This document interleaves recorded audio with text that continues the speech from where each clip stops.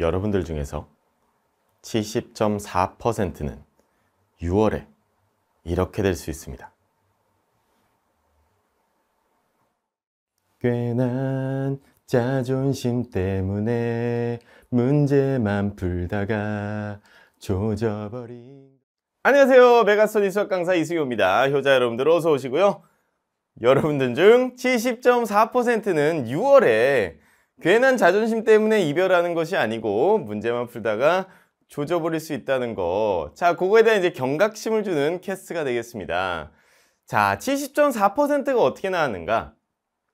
요거 이제 작년에 선생님이 이제 수강생 등급 분포인데 보시면 아주 다양한 학생들이 제 수업을 듣거든요. 보통 이제 저를 또 이렇게 수학을 못하는 학생들만 가르친다 이렇게 아는 학생들이 있는데 9월 물평 기준으로 보면은 31.4%가 1, 2등급이에요. 학생도 선생님한테 많이 배우고 있고 또 반대로 4등급, 5등급 이하의 학생들도 선생님한테 많이 배우고 있습니다. 자, 근데 이제 6월에 보시면 말이죠. 뭐 9월도 마찬가지긴 한데 70.4%가 3, 4, 5등급을 받습니다.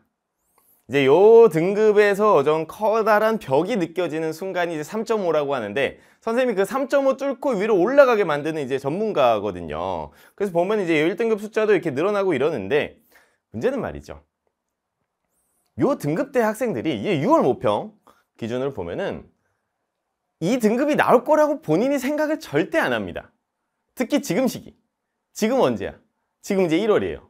1월, 그 2월 이제 공부를 할 때 예비 고3 학생들 같은 경우에는 아주 패기가 넘칩니다. 그 중에는 실제로 좀 고1, 2때 잘했던 학생들도 있어요. 뭐 선생님 저 고2 모의고사 1, 2등급 왔다 갔다 하고요. 이런 학생들이 6월 달에 4등급이 나올 거라고 예상을 안 하죠? 그죠? 근데 재수 이상 N수 학생들은 이게 얼마나 이게 무서운지를 이미 경험을 해봤기 때문에 알아요. 근데 예비고3은 내가 지금 얘기를 해줘도 아마 잘 뭔 말인지 잘 모를 거야.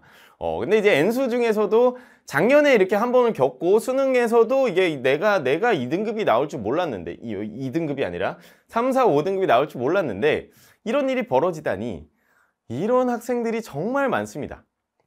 그죠? 차라리 5등급은 괜찮아요. 5등급 여기 나온 학생들 같은 경우에는 뭐 여기 밑에 있다가 올라온 학생들도 있고 아 그래 나 원래 수학 못하니까 그렇게 생각하는데 이제 여기 4등급 중심으로 해가지고 위아래에 걸쳐 있는 이 학생들 같은 경우에는 굉장히 큰 충격을 받게 됩니다. 6월에. 이게 지금 선생님 수강생 중에서 70%라는 거지 실제로는 여러분들 생각해 보세요. 1등급이 전국에 4%, 2등급이 누적해서 11%이기 때문에 89%는 3등급 이하가 나온다는 거야. 전국 수험생 중에. 그죠? 그럼 그 학생들 중에서는 대부분이 나는 그런 점수가 나올 것이다 라고 예상을 안 한단 말이지. 특히 이 시기에. 자, 그거에 대한 얘기를 좀 해드리려고 합니다. 문제만 풀다가 조져버리면 안 된다. 그때 가가지고 선생님 요 119 불러가지고 선생님 저 병원을 좀 데려가세요. 119 뭐 이렇게 하고 계시면 안 된다 이거예요 여러분들. 안 돼. 지금 여러분들이 마음을 고쳐 먹으셔야 됩니다. 지금 진짜 쌉고술도 있는데 그런 학생들 말고 대부분의 학생들은 뭐가 지금 이제 필요한 시기냐면은 개념을 충분히 반복해야 된다. 내가 이 캐스트를 이제 왜 찍기로 이제 마음을 먹었냐면 어, 요즘 이제 선생님이 Q&A에서 질문을 많이 받을 거 아니에요. 그럼 이제 선생님은 이제 Q&A 같은 경우를 대부분 이제 특히 상담 같은 경우에는 제가 직접 답변을 드리니까 학생들이 선생님 저 공부 어떻게 해야 되나요? 학습법 어떻게 해야 되나요? 뭐 진도를 어떻게 나갈까요? 이런 질문들을 많이 한단 말이야. 그럼 이제 그걸 이제 들으면서 보면서 선생님 이제 하, 이거 큰일 났네. 또또 다시 이제 1, 1월 되니까 또 똑같은 일이 또 벌어지는구나. 이런 생각이 드는 게 있어요. 그게 뭐냐면은 대부분 학생들이 어떻게 계획을 세워버리냐면은 1월 달에 뭘 끝내고 2월 달에 뭘 끝내고 3월 달에 뭘 끝내가지고 막 쑥쑥쑥쑥쑥 올라가는 그런 계획을 세워. 근데 그게 이해가 돼. 예비 고3들은. 왜냐하면은 너희들 지금까지 시험을 1년 동안 준비해 본 적이 있니? 무슨 뭐 올림피아드 준비하고 이런 게 아니라 그러면 여러분들은 그런 적이 없죠. 내신 대비 같은 경우에는 뭐 한 달 하면 오래 하는 거잖아. 내신 대비 한 달이나 두 달 하면 진짜 오래 하는 거고 뭐 안 하는 친구들은 뭐 2주 하고 일주일 하고 막 하루 하고 이런 거 다 알고 있단 말이야. 그러니까 이게 긴 텀으로 계획을 세워가지고 공부를 한다는 그 경험, 경험 자체가 없으니까 한 달 동안에 내가 개념을 끝내고 그것도 수학이 지금 세 과목인데 선생님 제가요 수원수투의 뭐 미적분까지 개념을 다 끝내고요. 그 다음 달에는 기출을 끝낼 거고요. 3월부터는 문제를 벅벅 풀 겁니다. 이런 아주 정말 그 패기 넘치는 계획을 갖고 공부를 이렇게 해도 될까요? 라고 물어보는 학생들이 정말 많다. 근데 이 얘기를 들으면 N수생들은 이제 웃죠. 왜냐면은 고3 때 자기가 그랬으니까. 근데 그게 아니라는 거를 이제 경험을 했으니까. 그러면서 이제 이런 생각을 하겠지. 그래 뭐 고3들 그러고 있겠구만. 나는 이제 N수니까 이제는 제대로 해가지고 잘 봐야지. 그래서 실제로 이제 정시에서 N수들은 공부를 제대로 해가지고 막 4등급, 5등급이었다가 이제 쭉 올라가는 경우도 있고 이런데 고3 학생들이 정말 이제 그 방황을 많이 합니다. 왜냐면 또 1, 2월 달에 제대로 공부를 해야 되는 시기를 놓쳐버리면은 이제 또 3, 4, 5, 6 이때는 또 뭐 있어요? 중간고사, 기말고사 있으니까 수능 공부 제대로 못 하잖아. 그러던 와중에 6월 모의평가 딱 보게 되면은 이런 일이 벌어진다는 거예요. 나는 고1, 2 때 이렇게 나왔었는데 갑자기 4등급 이렇게 나와버린다니까? 이렇게 막 뚝뚝 떨어지는 경우들이 많다니까요?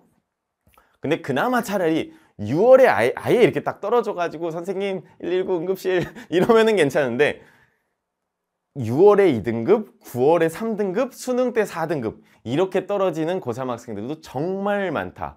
그러면 이제 여기까지도 뭐라고 하냐면은 각종 이유가 다 나와요. 아 선생님 제가요 뭐 감기 걸려가지고요 뭐 시험장에서 그거 다 풀 수 있는 건데 끝나고 났더니 제가 92점인데요 뭐 시험장에서 60 몇 점이 나온 이유가요 이러면서 막 이렇게 막 말이 많아. 그러다가 수능에서 망치고 그런 사람들이 진짜 많습니다. 지금 뜨끔하는 N수형도 있을 것이고 고3들은 겁주고 있네. 또 이런 생각 할 거야, 분명히. 근데 절대 그렇지가 않아요, 여러분들. 개념 충분히 반복하셔야 되는 게 지금 이게 내신이 아니야. 내일 모레 시험 보는 게 아니라고요. 11월에 수능을 보잖아요. 10개월이나 남았습니다.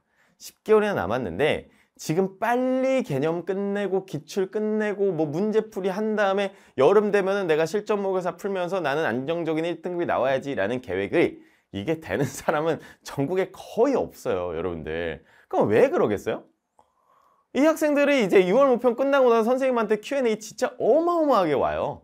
여러분들 진짜 이, 게 지금 뻥인지 아닌지 한번 나중에 한번 봐봐요 6월 모평 다 끝나잖아요 그러면은 진짜 그때부터 선생님 일주일 동안 선생님 진짜 거의 잠도 못 자고 답변 달아드려요 선생님 6월 조졌습니다 어떡하죠? 진짜 많이 오거든요 그럼 이제 그때 가서 야 너, 너 그동안 어떻게 공부했니? 라고 물어보면 그런 얘기를 하게 되는 거죠. 겨울방학 때는 이렇게 했고요. 이거 했고요. 이거 했고요. 이거 했고요. 이거 했고요. 정말 많이 해가지고 막 기출도 다 풀었고요. 막 문제집 막 천 문제짜리 다 풀었고요. 이런데 정작 제대로 아는 게 없는 거지. 개념이 부족해. 개념이 부족하니까 이런 등급이 나오는 거라니까. 2등급까지는 그럴 수 있어요. 2등급까지는 개념이 좀 어느 정도 잡혀 있는데 추론에 대한 훈련이 부족하거나 4점짜리 문제 푸는 어떤 그런 실전적인 것들을 좀 잘 못 배웠거나 시험장에서 컨디션이 안 좋아가지고 뭐 그럴 수 있다 여러 가지 이유들이 있을 수 있는데 이 밑으로는 그러니까 얘가 지금 몇 퍼센트라고요? 70.4%라고 여기는 그냥 무조건 개념으로 다시 돌아가야 돼 그러면은 6월 달에 선생님이 그 막 진짜 막 하루에도 막 어마어마한 Q&A 이제 질문들이 오고 상담을 이제 하게 될 텐데 근데 왜, 왜, 선생님한테 많이 오냐면 내가 이제 답변을 잘해주는 게 소문이 나서 그래요. 이제 그러면은 이제 선생님도 직접 다 보고 답변해드리고 막 장문으로 한 명 한 명 다 분석해서 답변해드리고 이러니까 어마어마하게 많이 오는데 사실 대부분의 솔루션은 거의 똑같아.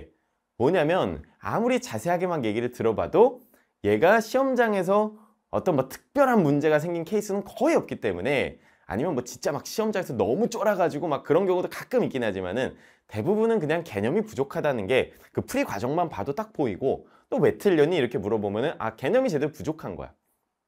그러면 내가 그때 무슨 얘기를 해주겠어요? 개념으로 다시 돌아가라 리셋해라 이런 얘기를 해준단 말이야. 그럼 왜 리셋을 하게 되는 거냐 이거지. 그럼 왜 그런 거야? 개념 단계에서 충분히 반복을 안 하고 빨리 서둘러서 진도를 나가기 때문입니다 여러분들 여러분들이 이제 선생님 이거를 본다는 거는 아무래도 인강을 활용하는 그 활용도가 높다는 뜻이잖아. 그럼 이제 인강 같은 경우에는 예를 들어서 선생님 수업 같은 경우에도 DB 3.5나 DBDB나 이런 것들이 이미 완강이 돼 있는 수업들이 많이 있단 말이지. 근데 그거는 잘하는 학생들이 빨리 들을 수 있게 미리미리 오픈을 해주는 거죠. 그러니까 예를 들어서 어떤 선생님이 뭐 3월 달에 엔젤을 출시를 한다라고 하는 것은 3월부터 엔젤을 시작해야 된다는 의미가 아니라 진짜 빠르면 3월부터 시작하지만 아 인강은 뭐 놔두면은 수강 신청 해놓고 뭐 놔두면 여러분들 패스 있으면은 어디 날아가는 거 아니잖아요. 그러니까 뭐 8월에 들어도 되고 10월에 들어도 되는데 뭐 출시되면은 막 그냥 막 서둘러서 허겁지겁 막 해야 된다고 생각하는 거야. 근데 왜 그러냐? 옆에 친구가 시작하거든요. 옆에 친구가 시작하니까 나도 빨리 해야 될 것 같아. 이거 안 하면 큰일 날 것 같아. 고3들은 잘 모르니까 그냥 그 인강에 출시되는 시점에 맞춰가지고 진도를 빨리빨리 쫓아간 다음에 완성해놓고 뭐 나는 탐구해야지. 여름방학에 탐구해야지. 그 전까지는 수학 다 끝내야지. 그게 말이 안 되는 얘기라는 걸 여러분들 6월 모평 끝나고 나면은 이 캐스트가 성지가 돼가지고 선생님 제가 여기 다시 왔습니다. 이러면서 댓글을 달고 있을 가능성이 높다니까? 아니면 이제 Q&A 와가지고 하게 되는 거야. 그래서 정말 개념을 충분히 반복하고 가라. 이게 막 이 컨텐츠가 나온다고 해가지고 그거를 바로 바로 쫓아갈 필요가 없어요. 지금 무슨 얘기하는 거냐면은 1, 2월 얘기하는 겁니다. 여러분들. 1, 2월 얘기. 1, 2월만 해도 충분한 시간인데 전체 수능 레이스 10개월로 보면 그 중에 1, 2월이니까 아직 5분의 1에 불과한 거야. 근데 이게 1, 2월 달에 개념을 그러면 개념만 충분히 반복하다 보면 은 개념이 확실하게 잡히는가 하면 그것도 아니에요, 사실은. 그 안 되는 이유가 뭐냐면은 내신 공부법이랑 수능 공부법이랑 많이 다르거든.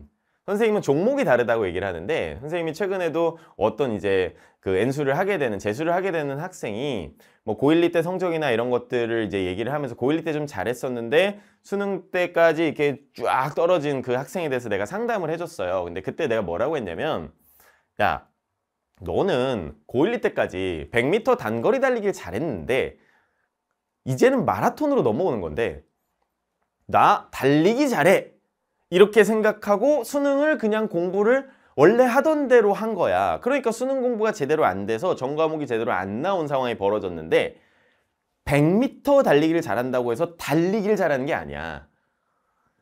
내신에서 여러분들이 수학을 잘한다 혹은 고1, 2 모의고사에서 수학을 잘한다고 해서 수능 수학을 잘하는 게 아니야. 종목이 달라.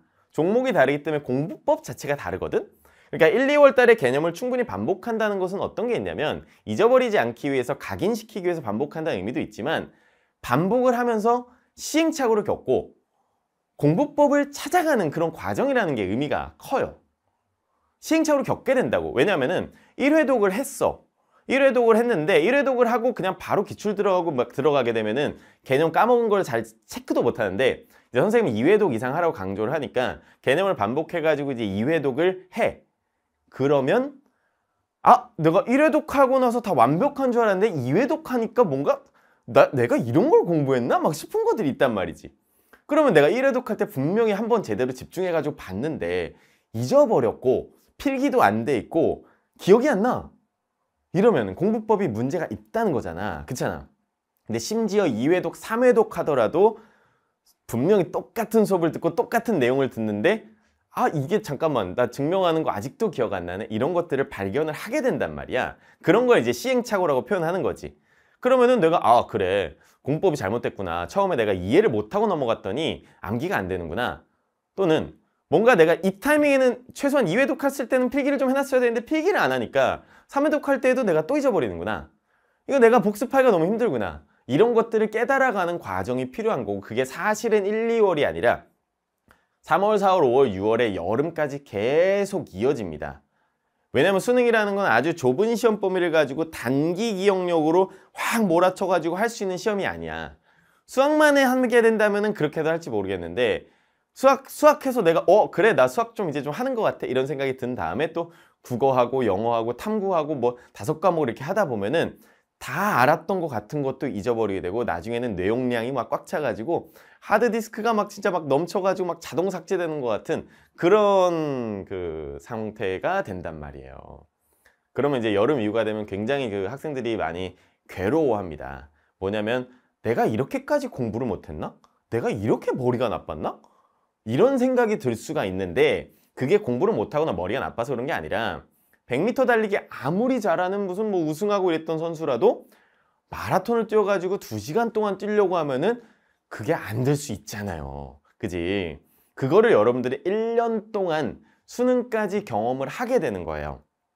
그러다가 6월이나 9월이나 뭐 어느 시점에 아 그래 이제 수능이라는 건 이렇게 하면 되겠구나 라는 걸 알게 되면 현역이지만 성적이 쑥 올라가게 되는 거고 또 안타깝게도 되게 많은 학생들이 고3 때 그거를 못하고 이제 재수하면서 시간이 좀 여유가 있을 때 아씨 이런 거였네. 나 고3 때 진짜 엉망으로 공부했구나. 이런 거를 이제 깨닫게 되는 거죠. 재수라도 깨달으면 다행인데 또 그 이제 n이 이제 3보다 커지고 같다 이렇게 되면은 그건 정말 선생님도 마음이 아프고 학생도 너무 힘들고 그런 학생들한테는 제가 진짜 더 특별하게 케어를 해드리고 정말 안타까우니까 빨리 좀 잘 되게 하고 싶어가지고 그러는데 어쨌거나 그게 수능 시험 대비라고 생각해야 돼요 여러분들. 계획대로 안 됩니다. 계획대로 안 돼. 뭐 그런 유명한 말이 있죠. 다들 계획 있다. 처맞기 전까지는. 뭐 이런 말 있잖아요. 진짜 그렇게 될 수가 있다는 겁주는 게 아니라요. 그냥 그럴 수밖에 없는 거야. 왜냐하면 1등급 4%고 2등급 11%고 그냥 그 메가스터디 기준으로 했을 때 그건 그래도 좀 공부 좀 한 인강 들으면서 공부라도 좀 한다는 학생들 기준으로 봤을 때 70%인 거 실제로는 전국에는 89%죠 그 학생들이 원하지 않는 등급을 받게 된다는 거고 그거를 여러분들 지금 지금 생각을 바꿔서 반복을 많이 하셔야 됩니다. 반복하는 이유 두 가지 얘기했어요. 잊어버리지 않기 위해서 반복하는 것도 있고 탄탄하게 하기 위해서 두 번째는 그러면서 수능 공부에 대한 시행착오를 겪어서 방법을 깨달아 가는 거. 그거를 하고 나서 기출도 들어가고 엔젤을 풀든 실무를 풀든 그렇게 하더라도 절대 늦지 않다.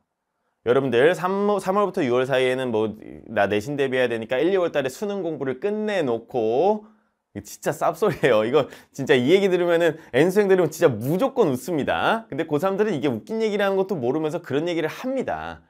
절대 그렇게 안 됩니다, 여러분들. 1, 2월에 끝내놓고 뭐 여름방학에 내가 끝낸다, 수학을 끝낸다. 말이 안 되는 얘기예요. 정말 극소수를 제외하고는. 자, 요거 오늘의 주제는 그냥 딱 이거 하나야. 1, 2월 달에 제발 서두르지 마라. 선생님 수업도 지금 뭐 3.5, DB 3.5, DBD 뭐 이렇게 다 나와 있지만 특히 작년 수능을 봤을 때 기조가 조금 바뀐 부분이 있어서 공통이 더 중요해졌기 때문에 선생님은 지금 그 1, 2월 커리큘럼 가이드 선생님이 찍어 놓은 거 있어요. 그 커리큘럼 가이드 보시면은 무슨 얘기까지 하냐면은 선택 과목 웬만하면 나중으로 미뤄라. 공통 수학 원투 개념만 반복해도 시간이 지금 부족하고 그만큼 공통이 더 중요해졌기 때문에 그리고 선생님이 이제 작년에 1년 동안 이제 가르쳐 보니까 수능 난이도가 어려워져 가지고 이게 개념이 탄탄하지 않으면은 나중에 정말 어려움을 겪더라고요. 그래서 선생님 같은 경우에 원래 작년에는 이제 기계공이라는 게 있어요. 선생님의 그 유명한 시그니처 개념 강좌. 아, 이거 진짜 컴팩트하면서 뭐 수one 수two 뭐 두 개 합쳐가지고 막 일주일에 끝내버리고 이런 컴팩트한 게 있는데 상승 시작 있고 기계공 있는데 이제 작년에 이제 촬영해서 완강 시켜 놓은 Read라는 복습 얘는 복습하기 위한 책 읽어주는 새로 인강 강좌도 있고 이번에 이제 새로 만드는 PT라는 거 이건 연습. 자 이거는 기초 상승의 시작이라는 건 기초 얘는 수학 원투의 개념 컴팩트한 개념인데 맥락이에요. 맥락. 얘는 기초, 맥락, 얘는 복습, 연습까지. 이 기초 단계에서 1, 2월 달에 할 거를 이거를 4개나 지금 만들어 놨습니다. 4개나. 4개나.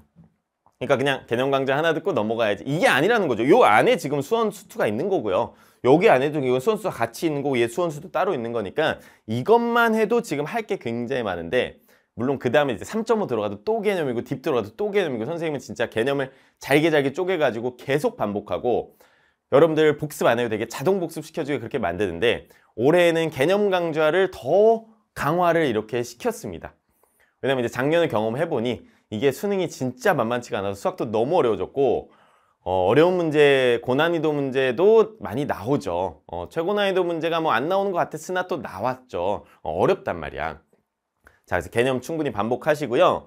선생님 여러분들 효자라 그러면은 요거 요거를 그냥 1, 2월 달에 최소 2회독, 많으면 3회독, 4회독까지 반복하면서 그냥 여러분들이 그냥 아무것도 없이도 설명할 수 있게 그냥 음성 지원돼서 내 목소리 그냥 들리게 아 뭐 미분이 뭐야 막 이런 얘기가 목소리로 들리도록 반복을 하셔도 괜찮다는 거예요. 그리고 나서 3월부터 6월 사이에 뭐 그때 학교 다니니까 시간 없을 수도 있는데 괜찮아. 그때 조금 천천히 나가도 괜찮아요. 그 다음에 또 여름방학 있으니까 어차피 지금 수능이 지금 당장 3월에 시험 보는 거 아니고 6월에 시험 보는 거 아니야. 근데 여러분들은 또 이제 그게 있죠. 3월 학평 잘 보고 싶다 막 이런 게 있거든요. 물론 3월 학평 잘 보면은 기분은 매우 좋습니다. 그리고 얘네들 공부하면 당연히 3월 학평에 도움이 되긴 하지. 그렇지만은 3월 학평에서 내가 등급을 받기 위해서 뭐 전범위를 내가 진짜 막 공부를 해야 되고 막 뭐 국영수 탐탐에 막 다 잘해야 되고 이렇게 겨울방학 공부하다 보면은 개념에서 반드시 빵꾸 나고 여름에 6월 달에 119 도와주세요. 119 도와주세요. 이런 인- 이런 상태가 된단 말이야, 여러분들. 아시겠죠? 근데 지금 지금이니까 사실 이렇게 내가 웃으면서 얘기하는 거다. 6편 끝나고 나면 이렇게 내가 웃으면서 얘기도 하기도 미안해. 왜? 실제로 전국에 수 전국에 진짜 수십만 명이 지금 조져가지고 눈이 시뻘개져가지고 있는 걸 내가 알기 때문에 이렇게 내가 편안하게 웃으면서 얘기도 못하고 그때는 진짜 절실하게 간절하게 얘기해줘야 돼. 근데 지금이니까 이렇게 얘기하는 거야. 그러니까 여러분들 지금 웃으면서 한 귀로 듣고 한 귀로 흘리겠죠. 반복하셨으면 좋겠습니다. 제발요, 제발요. 어. 그러면은 이제 여러분들 이, 이 얘기 듣고 어, 제대로 공부한 사람도 있을 거고 뭐 분명히 6월 달에 Q&A 와가지고 선생님 그때 제가 그 캐스트 말을 들었어야 되는 건데 제가 그런 일이 벌어졌네요. 이러면서 제목에다가 119 도와주세요. 이렇게 달 수도 있을 텐데 뭐 6월에 그렇다고 하면은 늦은 거 아니에요. 늦은 건 아니니까 설령 여러분들이 6월 달에 뭐 다른 선생님 듣고 뭐 어쩌고 하다가 뭐 6월 달에 이렇게 오더라도 선생님이 해결해 드리겠지.